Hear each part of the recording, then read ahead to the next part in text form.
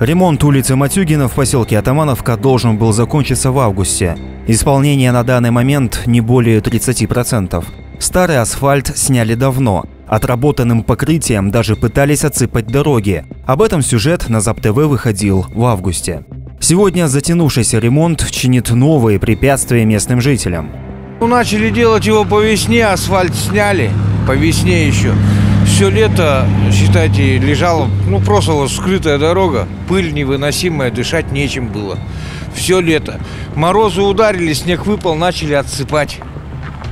Вот, и до сих пор асфальт, ни асфальта, ни дороги, ничего. Я даже вот, у меня вон ворота, я выехать на дорогу не могу непосредственно. Выйти из калитки, вот здесь тут постоянная проезжая часть организовалась по тротуару. И выйти из калитки безопасно тоже не могу.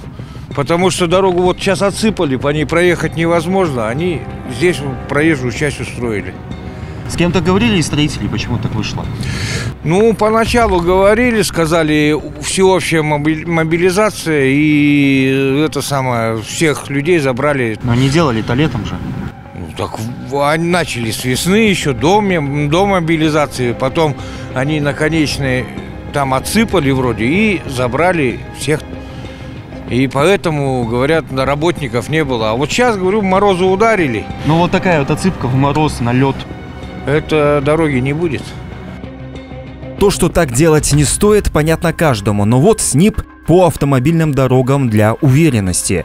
Земляные работы можно проводить в зимнее время при условии малой влажности, но никак не в перемешку со льдом. Уплотнение грунтов производится до их замерзания. Данная дорога делается по проекту безопасной и качественной дороги Э, был заключен контракт между муниципальным районом, Читинский район и краевым учреждением автомобильной дороги Забайкалье в мае 2022 года. Срок исполнения работ по контракту 15 августа 2022 года. То есть, ну, в настоящее время как бы срок исполнения э, подрядная организация затянула.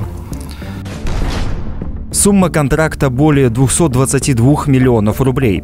Подрядчик, кроме сухого «работаем», что-то комментировать отказался и отправил в Министерство строительства края. Но при чем тут это ведомство? По контракту заказчик Читинский район.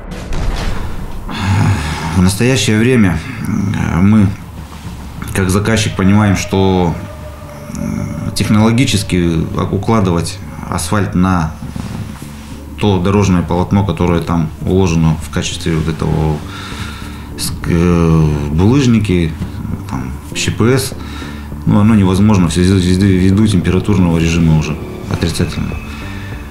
Поэтому э, представителям строительного контроля, который осуществляет контроль за ходом проведения работ, в наш адрес поступило обращение о рассмотрение вопроса по переносу сроков выполнения ремонта данной автомобильной дороги на более теплый период. В настоящее время мы подготавливаем письмо на Министерство строительства и дорожного хозяйства э, Забайкальского края с целью рассмотрения данного вопроса. Не должен ли здесь запускаться другой инструмент? Если подрядчик не успевает по сроку, ну, те же самые 4 месяца уже получается, прошло уже даже больше 4 месяцев, да, что расторжение э, в УФАС, а как недобросовестные подрядчики, по новой торговка через суд уже. Не такая ли процедура должна быть? Ну, этот вопрос, это... этот вопрос тоже как бы рассматривается.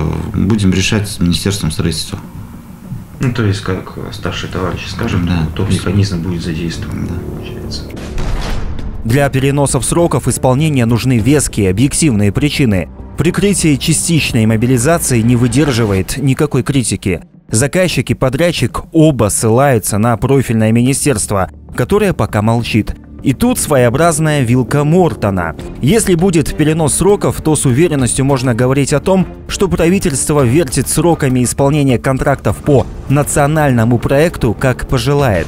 Если будет расторжение, то значит Минстрой даже свое подконтрольное ведомство не может заставить отработать контракт по нацпроекту. Следствие этого – неисполнение, негодование местных жителей и обломки частей автомобилей на остатках дороги. Вячеслав Барницкий, Алексей Павлов, ЗАП ТВ.